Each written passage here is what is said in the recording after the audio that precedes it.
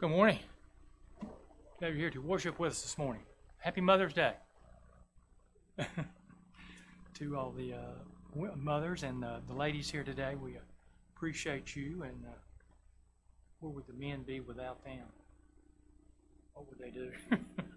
be in bad shape. appreciate them very much. Uh, the ones to be in prayer for uh, today and this week uh, Travis, Al, and Linda. Roger and Merle. Merle's not with us today. She is not feeling well, so uh, send an extra prayer up for her.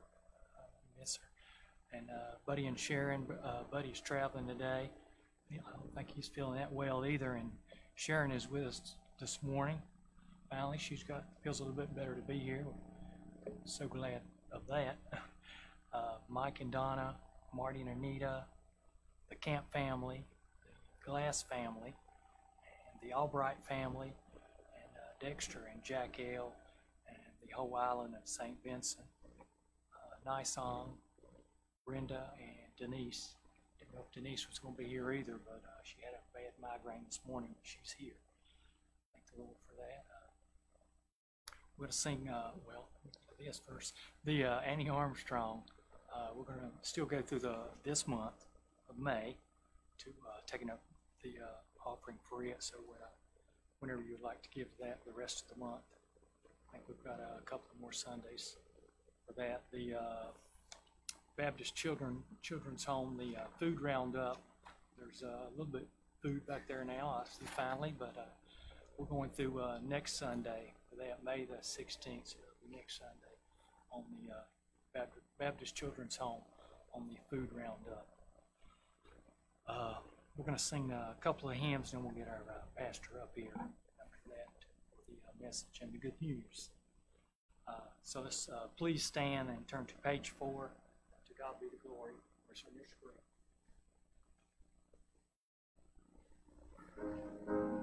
screen.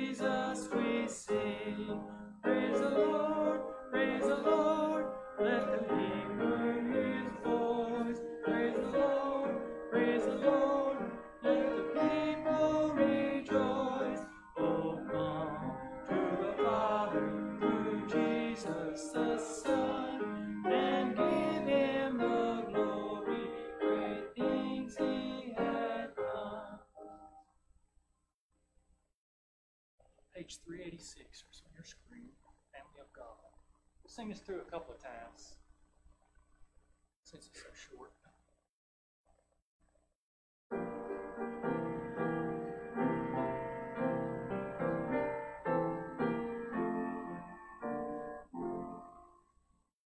I'm so glad.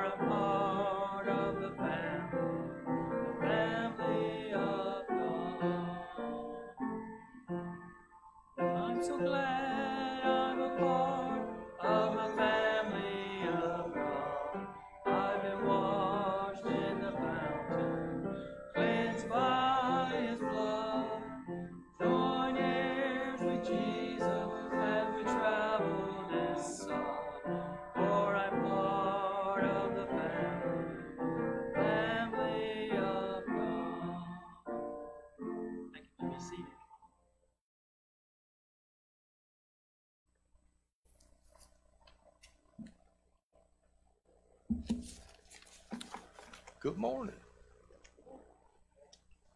Sure, get on here. We have a children's church. All right, we have a children's church. Children dismissed. There goes half the congregation. That's good, right? All right, now look. I know y'all all slept good last night. Amen. Y'all gonna have to help me out this morning now. I don't have to preach and amen me too.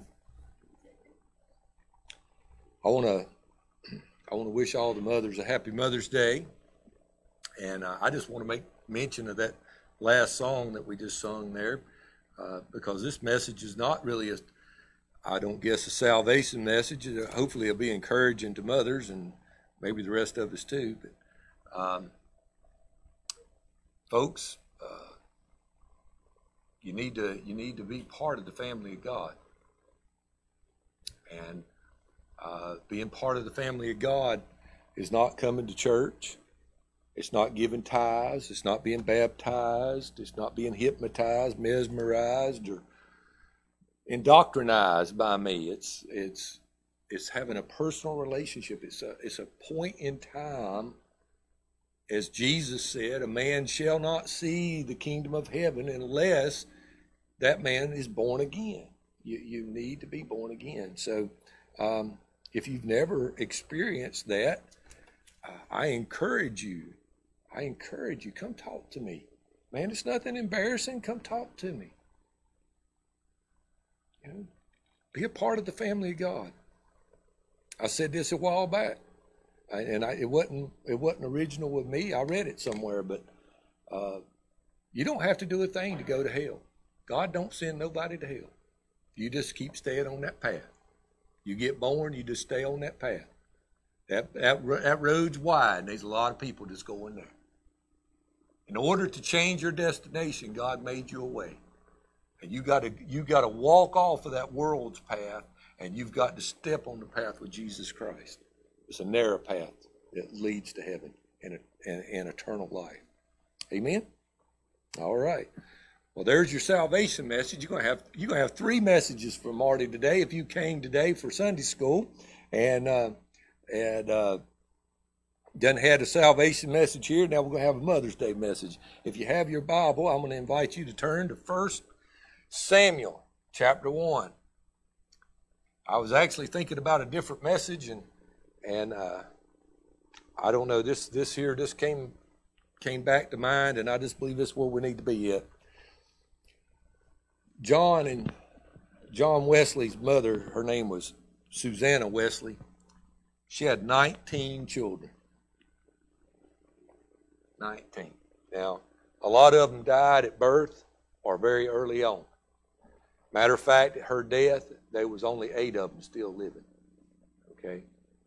But what people used to say about her house was you never heard a loud voice. Now, I'm going to tell you what, I raised two and you heard some loud voices around my house. I, I'm just going to tell you. I got a deep voice. When, when I spoke, three houses down, it rattled. Okay? I mean, I'm telling you, uh, I was loud. But they, they say that Susanna Wesley was not, she was not loud. She never raised her voice. But yet she raised a whole house full of preachers and missionaries and godly women it, that's amazing, man. I mean, that, that is. You think about what all uh, the Wesley boys contributed uh, to our hymn book and to our doctrine and to just uh, theology and that kind of stuff. Man, I mean, all these Methodist churches that are all around the countryside, they come from them boys, uh, their heritage anyway. So uh, there's something to be said uh, about the mother and her influence, her influence now uh, Timothy chapter 2, verse 15. We're not going there. I just want to read this to you because we don't like this verse. It says, Notwithstanding, she, talking about the ladies, the, the mothers, shall be saved in childbearing if they continue in faith and charity and holiness and sobriety. Ladies, y'all have a very, very important role in the home and in the church, and that is to influence your children. I mean, it really is. I, I don't know how many people I have heard, uh, read, talked to. They talk about their mothers and the influence that their mothers had on them and their Christian walk. Okay? Um, yesterday, we had a, a, a birthday party here for one of my grandchildren and they were all here. All my grandchildren were here, and that was a good time. I had a lot of other people here, and uh, my baby girl, when she first had her child, she thought she was going to break it. I mean, it was just,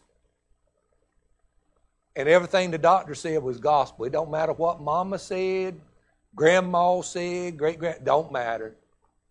That doctor knew more. He had never had one child didn't have no children and never had none. You know what I'm saying? But yet he knew more about raising children than all those people that raised children. All those generations that knew how to uh, feed them a little, you know, mash a little something up, put it on their tongue. You, you know that potatoes and all that. You know how you do them children, you know. And and no, we couldn't do nothing except just what the doctor said. Now, that's when that's when the baby was first born. Well, it ain't the way it is now. She done she done grew into being a mother, but. Uh, But it was so amazing yesterday, uh, and, uh, and I'm just going to brag on her, okay? I was watching her, and she's sitting over there, and she's conversing with all the adults, you know, and, and, and, and that particular grandchild was the smallest one, and, and she's running around everywhere, playing with her cousins and playing with all the other kids, and uh, she's just a toddler. And every once in a while, my daughter's antennas, you'd see it. They go up like this right here and she'd turn and, and there would be hers over there getting ready to get into something. And she'd just speak. And I only seen her had to get up one time, one time.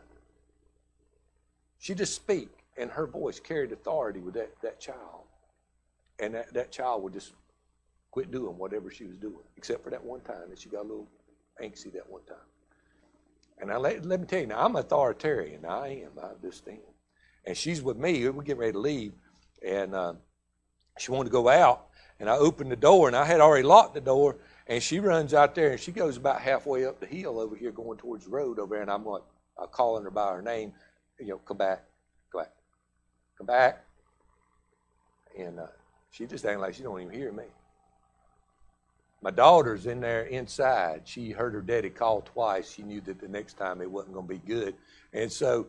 Uh, she speaks, calls her by her name. She stops, turns around, and comes straight back in the door. Where'd you get that at? You know? Mothers has got a great influence on their children. They really do. Mothers are great. They are. Uh, you know, we've been we've been talking a lot about we've been going through the book of Ephesians, and we dealt with all those hard passages about submission and all that. And, and, you know, I read this passage the other week about submitting to each other, and and uh, it comes out of First Corinthians, and Paul said this in First Corinthians chapter eleven, verses eight through twelve. He says, "For the man is not of the woman, but the woman of the man. Neither was the man created for the woman, but the woman for the man." For this cause ought the woman to have power over her head because of the angels. Nevertheless, neither is the man without the woman, Neither is the woman without the man in the Lord. Now I want you to listen to what he says here. For as the woman is of the man, even so the man also by the woman. But all things are God. So what he's saying is, guys, Adam was created first, but since him, without a woman, you ain't here. Okay? Right? How many of you come out of a test tube? Right. Without, without your mother, you're not here. So, guys, let me tell you something. Love on your mothers. If they're alive today and you have the opportunity to call them, call them and wish them a happy Mother's Day. Ladies, do the same thing, okay? Honor your mother and your father. Honor your mothers. Without them, we just wouldn't be what we are. I love my mother. I love my dad, but I love my mother. I, am blessed. I got two mamas. How's that? I actually got a whole lot more than that. I got a whole lot of ladies that had a whole lot to do with my raising and and uh, who I am. All right.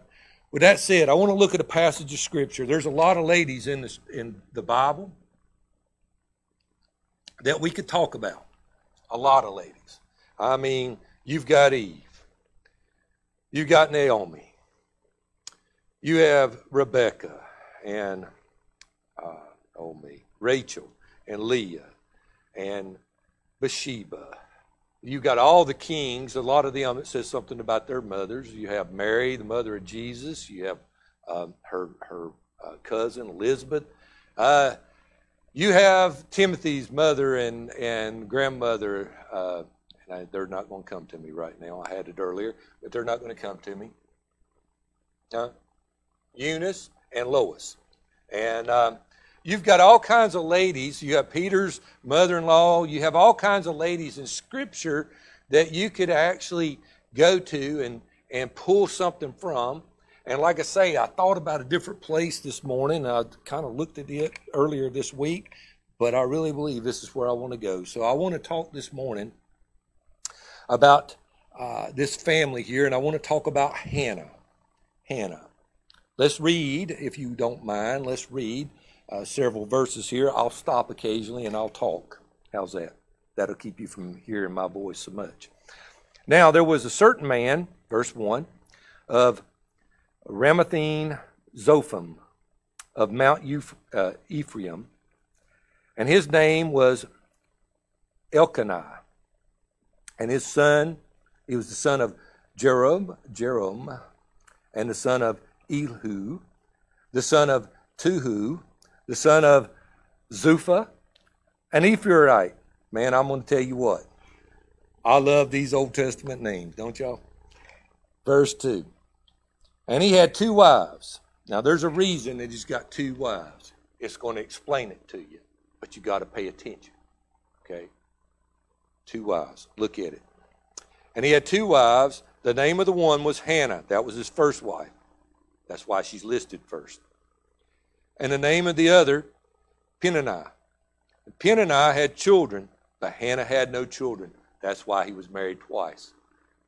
In the days that they lived in, man had to have children. He had to have a son heir. Okay, they did. And he had two wives. He was trying to. He's trying. He'd learned that from who? Father Abraham. I'm, I'm glad y'all remember that.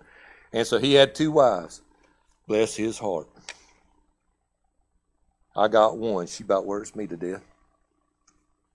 Y'all know what I'm talking about. Verse 3 And this man went up out of the city yearly to worship and to sacrifice unto the Lord uh, of hosts in Shiloh. And, um, and the two sons of Eli, Hophni and Phinehas, the priest of the Lord, were there. Now, I think they're telling you about his two sons for a reason as well. I think we're going to see that in just a minute. So you remember Eli had two sons. Do you remember anything about his two sons? They were wicked, wasn't they? Okay, so just remember that. They were wicked.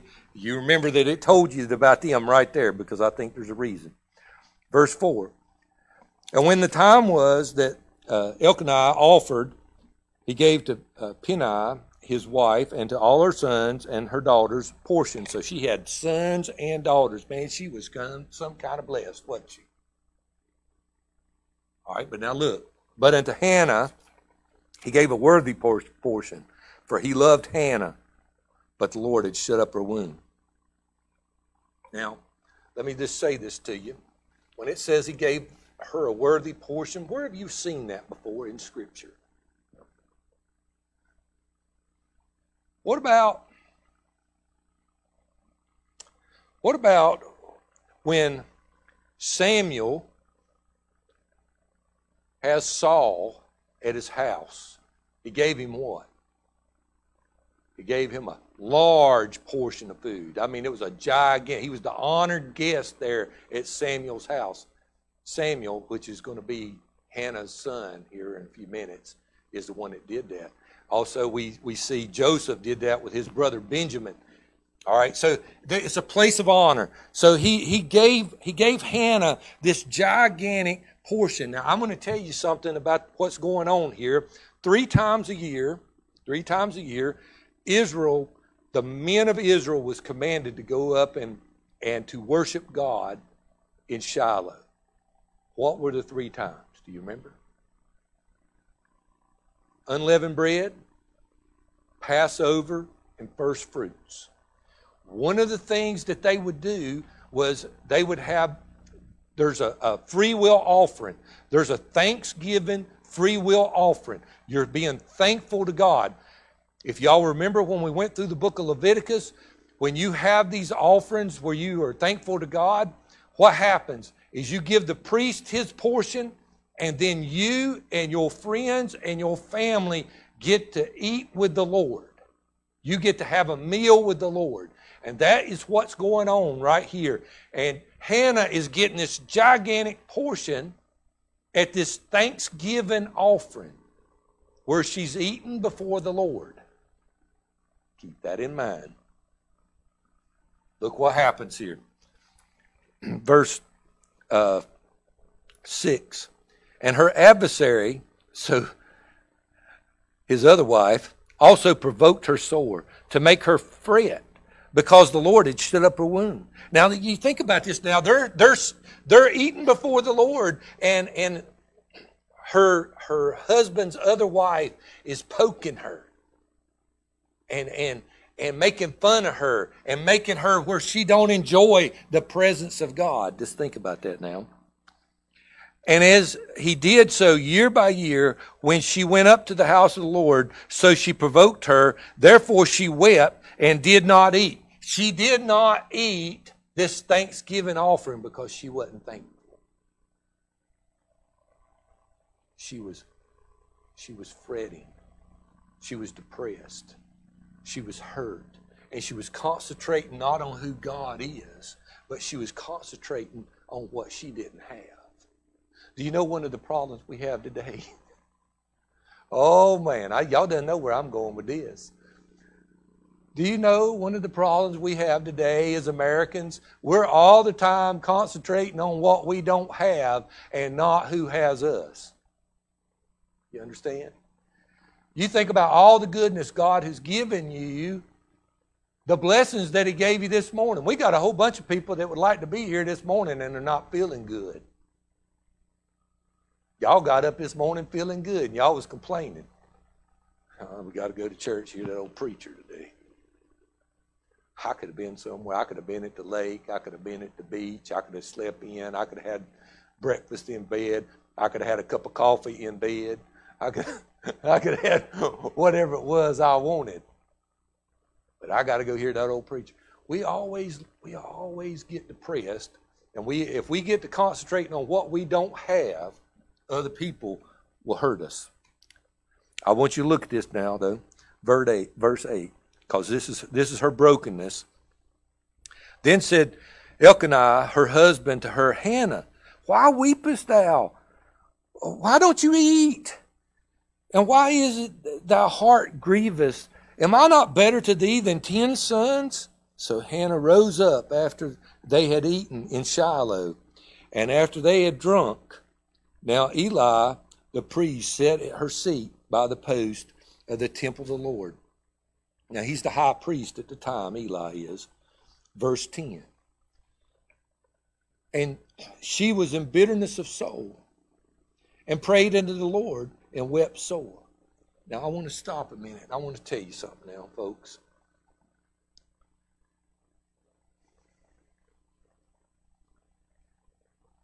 I don't know what a lot of you are going through.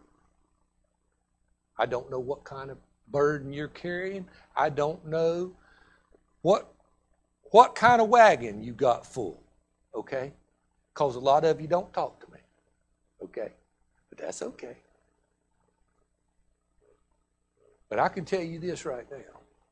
If you got your focus on something besides what God is and who He is, and you're depressed in your heart, and you're broken in your heart,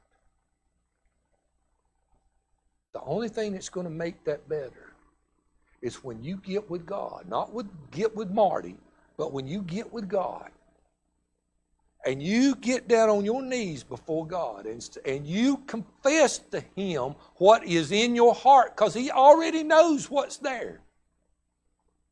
And confess to Him and say, Lord, I am putting this in front of you.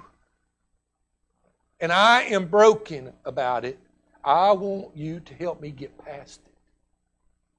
Then and only then is God going to heal you. Now I want, I want you to see what's going on. And I can I could give you something personally, but I won't this morning on that. But I want you to look what happens here now. She wept sore before the Lord. She prayed unto him. And I want you to look what she done, and I'm going to give you a big warning right here. And she vowed a vow. Now, let me tell you something about vow and a vow. Let me just give you some verses. Numbers chapter 30, verse 2. If a man vow a vow unto the Lord, or swear an oath to bind his soul with a bond, he shall not break his word. He shall do according to all that proceedeth out of his mouth. Deuteronomy chapter 23, verse 21. When thou shalt vow a vow unto the Lord thy God, thou shalt not slack to pay it. For the Lord will, uh, the Lord thy God will surely require it of thee, and it should be sin unto thee. Now I want you to listen to what Ecclesiastes says, verses five, uh, chapter five, verse four through seven. When thou vowest a vow unto God, defer not to pay it for if he had no pleasure in fools, pay that which thou hast vowed. Better is it that thou should not vow than thou should vow and not pay. Suffer not thy mouth to cause thy flesh to sin, neither say thou before the angel that it was in error. Therefore should God be angry at thy voice and destroy the work of thy hands. For in the multitude of dreams and many words there's also divers vanities but fear thou God. Listen to me, folks. Don't you think that God's a big teddy bear, some old man sitting up on a rocking chair, and you can say anything you want to him, and you can promise him and swear, Lord, if you will just do this for me, I will never miss another Sunday service. Lord, if you'll just do this, I will give you half of what I owe. Lord, if you just, yeah. Listen, don't vow no vow to God and don't think that He's going to be slack in not requiring it of your hand. Okay? Hear me, folks. That might all be Old Testament, but it still carries over to today. All right? Don't promise God something you're not willing to do. Be careful. Don't, don't say, Lord, I wish I could do that, but Ooh, I don't know if I can or not. Be honest with him. You're just flesh and blood, folks, just like me. Don't vow something that you can't can't keep. Hannah makes a vow to him. I want you to look at this now. We go in places. You just hang on. Verse 11. And she vowed a vow and said, O Lord of hosts, if thou wilt indeed look upon the affliction of thy handmaid and remember me and forget not thy handmaid but will give unto thy handmaid a man child, then I will give him unto the Lord all the days of his life, and there shall no razor come upon his head. She is making a Nazarite out of her son that she don't even have yet. A Nazarite valve. I'm just going to give you this and you can go look at it later, but it's found in in Numbers chapter 6, and you can go look at the laws of the Nazarite if you'd like to. But now let me give you something interesting. Now, ladies, I'm, I'm coming, so y'all just, y'all just wait. When you look at the book of Judges, Samuel was the last judge. Did y'all know that? Because y'all come to church here, and I tell y'all that. So he's the last judge of Israel. Samuel is a contemporary of Samson. They're alive at the same time. Now, Samson's older, but they're alive at the same time. When you go and look at Judges chapter 13 and you look at Samson's parents, his mother was barren too. And the angel appeared to her and told her, You're going to have a son, and he's going to be a Nazarite. They were not very religious people, it does not look like.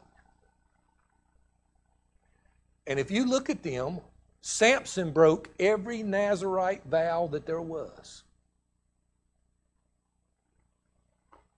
He did. Every one of them. But yet, here Hannah is She's a religious lady. She's already walking with God. And she says, I will, I will give you this son that you give me. I'll give him back to you all the day. And he shall be a Nazarite unto you. I will separate him unto you. And you think about that. Again, ladies, what kind of influence do you have on your children? Brother, could you put that up on the screen? I want you to look at this. This guy was actually on my mind Friday, if, if he can get it up there. This guy was on my mind Friday. This is one of the guys I went to school with right here. The guy right there in the middle with the blue shirt, his name is Aaron Cockrell. He is a missionary to Peru. A missionary to Peru. Let me read you because I can't read it from up there, so you'll just have. He's, he's given this to his mother. Happy Mother's Day to the most amazing mom I have ever had. Even I, if I could have selected my mother, I couldn't think of anyone more patient, kind, and loving. This picture was taken on Christmas Day 2019. It was the last time I have gotten to hug her and be with her. She entrusts her kids to God. Even they are taken far away. Mom, today I rise up a call to you are blessed. You why you want to put that up there for?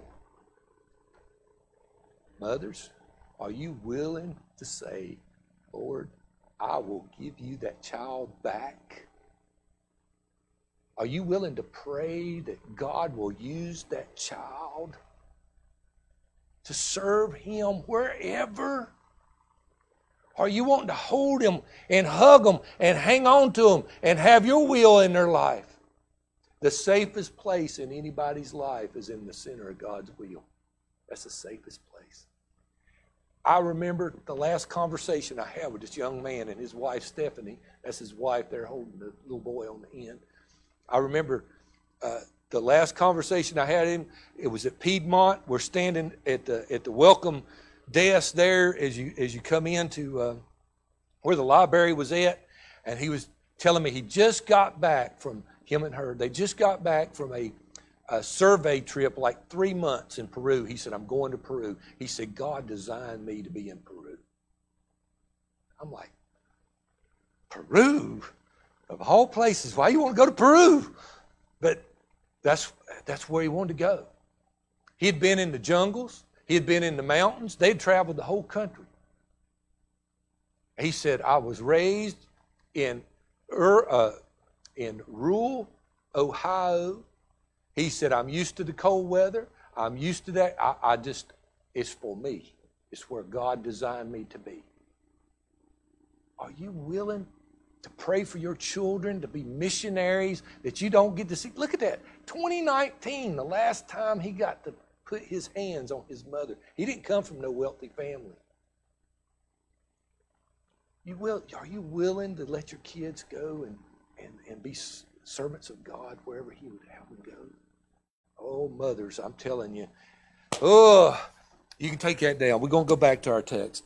Um, that's what Hannah says. She says, I'm going to give you my son if you'll give me that son. Now, I want you to look at this because some of you ain't going to like this. And it came to pass as she continued praying before the Lord that Eli marked her mouth. Now, Hannah, she spake in her heart only, her lips moved. But her voice was not heard. Therefore, Eli thought that she had been drunken. Why you reckon he, he thought she was one of those women? I think it's got something to do with his sons because he was worried about them. But anyway, look at verse 15. And Hannah answered and said, No, my Lord. Uh, oh, wait a minute, verse 14. And Eli said to her, uh, How long wilt thou be drunken? Put away thy wine from thee. And Hannah said, No, my Lord, I'm a woman of sorrowful spirit. I've not drunk neither wine nor Budweiser. That, that strong drink right there is, is, is beer. I know y'all don't believe that, but it is. But, but have poured out my soul before the Lord. Count not thy handmaid for a daughter of Belial, in other words, Satan. For out of the abundance of my complaint and grief have I spoken therein too. So what did she consider the woman that was drunken? Oh me. Do you see that there? She she can she considered that with, with a daughter of Satan, somebody that was a drunk. All right. I know that don't uh, don't please nobody, but that's what she said. So we see Hannah's brokenness. Now I want you to see her blessing. Look look with me now. Verse 17. Then Eli said unto her, Go in peace, and the God of Israel grant thee thy petition, and thou has uh, that thou hast asked for. And she said, Let thy handmaid find grace in thy sight. So the woman went uh, her way and did eat, and her countenance was no more sad. All of a sudden, somebody she she poured her heart out to God she makes this promise to God, and then somebody comes along and says, God's going to bless you. Ladies, let me tell you, sometimes your heart gets heavy and it gets broken. It does. If you'll pour it out to God, I promise you, I promise you, as you pour it out to God, eventually you're going to break through on the sunlight of things. I guarantee you that. And that's exactly what happens right here. She comes through, and now she's promised a blessing from the priest. Now, that's a different time than what it is now. I can't bless you. Did you know that? I'm preaching to y'all. Y'all all don't look blessed at all. I can't bless you. In that day, they could. I can't bless you. I can just I can pray for you, uh, but I don't have no blessing to give you. I really don't. Um, I'm sorry, but but she's blessed. I want you to look at this thing. Now go on. Uh, verse 20. Wherefore it came to pass when the time was come about, uh, about after Hannah had conceived, so now she's pregnant, that she bare a son, exactly what she asked for, and called his name Samuel. Why? Because I have asked of him the Lord, and it actually means the Lord is heard or the Lord hears. Do you know what uh, Samson means? shining. Let, let me stop just to. Oh, I know y'all just ready for me to get on with it, but let me point out something about Samson. Now, I don't. I hope all of you read the book of Judges. But when you read the book of Judges, the book of Judges is about God taking weak things and using them for His glory. Uh, you, you, got one guy, he's got an ox goad. Uh, you got one guy that's got the jawbone of a, a donkey. Then you got Gideon. Oh, thou mighty man of valor. What was Gideon at? He was hiding over there in, in the uh, place where the women would actually uh, wane their flour at. He was hiding over there. Oh, you mighty man of valor. Where's all your weapons of war, son? He got, he got one of them little whining things or doing a woman's job. It, it's sarcasm. It is. But out of all the judges that you had, the judge that I guarantee you, the average young man, if, if you told him about each one of the judges, this would be the one that every young man would want to be. Samson, he was strong. I mean, man, he was he was the only one that was cool. Out of all of he's the only man's man out of all of He was the only cool one on. But yet he ends up being the biggest fool out of all of them. You know what I'm saying? Anyway, that's just. Samuel, Samuel ends up being a man of God. I mean, a, a mighty man of God. We, he, he records most of the, uh, puts most of the Old Testament historical books together for us. It was his doing that done that. But anyway, uh, verse 21. And the man Elkanah, and all of his house went up to offer to the Lord their yearly sacrifice and his vow. But Hannah went not up, for she said to her husband, I will not go up until the child is weaned, and when, then I will bring him uh, that he may be, appear before the Lord and be there forever. Now I'm going to tell you what. First time I ever read this, I got right there. I said, "This woman ain't going up to that. She ain't taking that no more, no more." She ain't going back up to Shiloh. She ain't carrying that youngin' up there. Why? Well, it's like that little baby. When you pick that little baby up, it's just something there, isn't it? Huh? Something about that child. Mother's got a bond with a child that a, that a man don't have. I love my kids. I do. I'd die for my kids. I would. I'd kill for my kids. I would do that too. But I got news for you. My wife has a different bond than I do. She carried them youngins for, for nine months.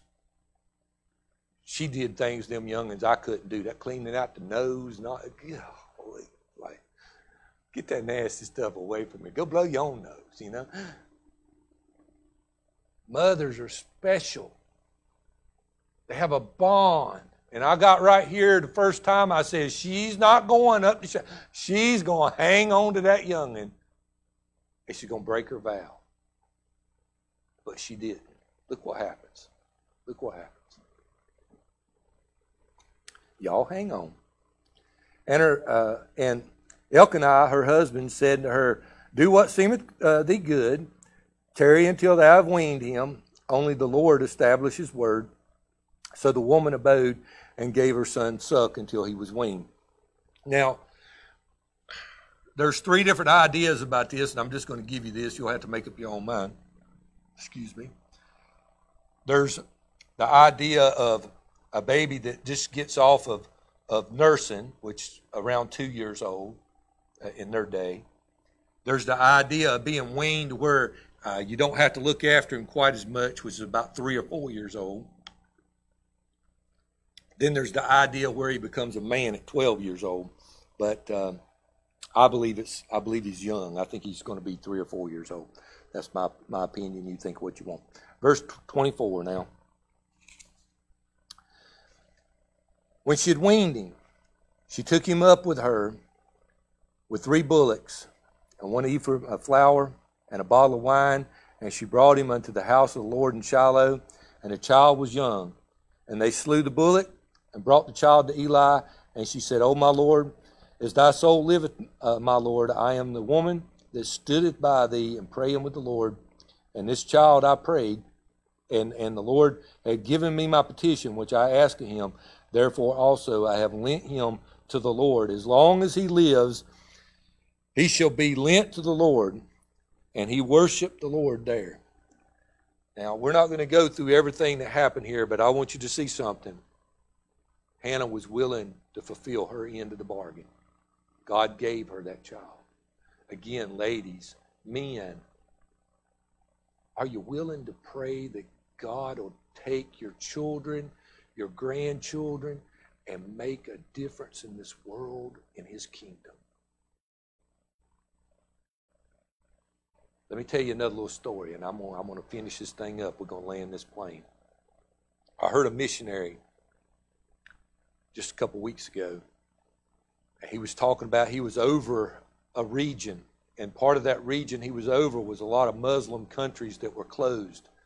And there was this young, good looking, vibrant couple that had three little kids.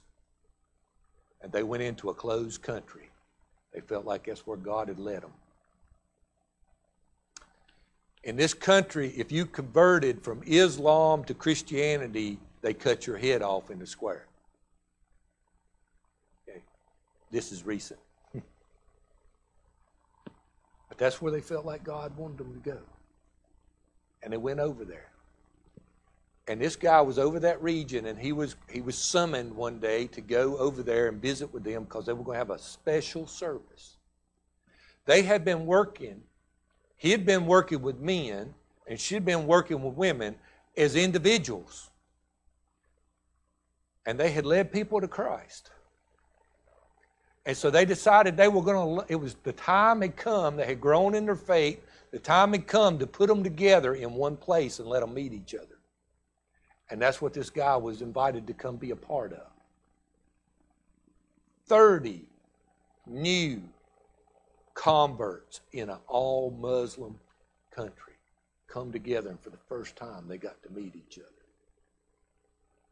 You say, why are you telling me that Somebody's little boy and somebody's little girl and somebody's grandchildren had to go do that. God didn't do it by osmosis. Are you willing to pray that God would use your child like that?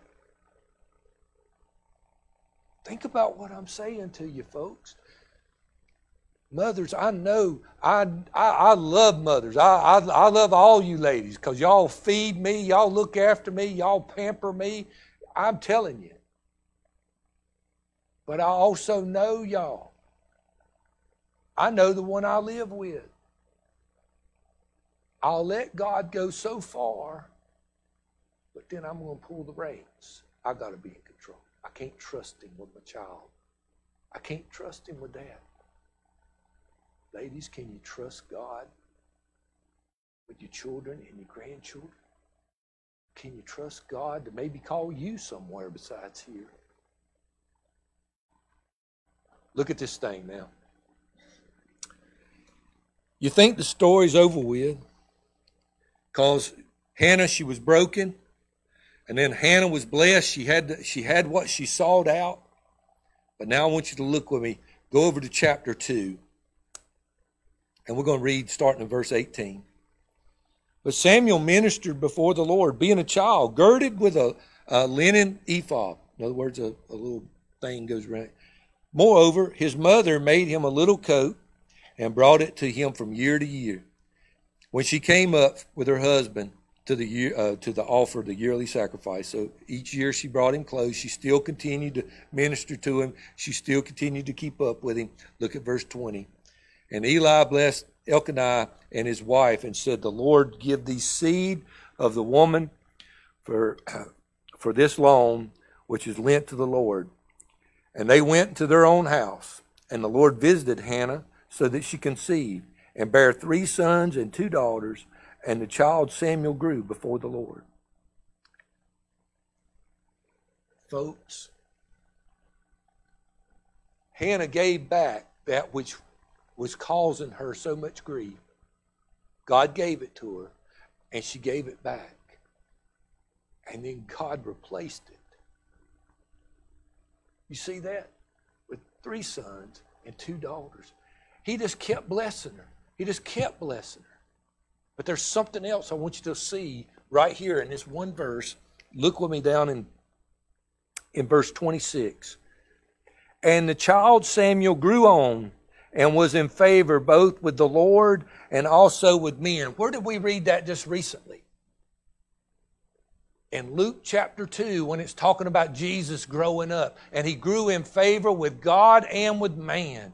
Samuel was growing in favor with man, in wisdom with men, but he was also growing in his, his faith with God.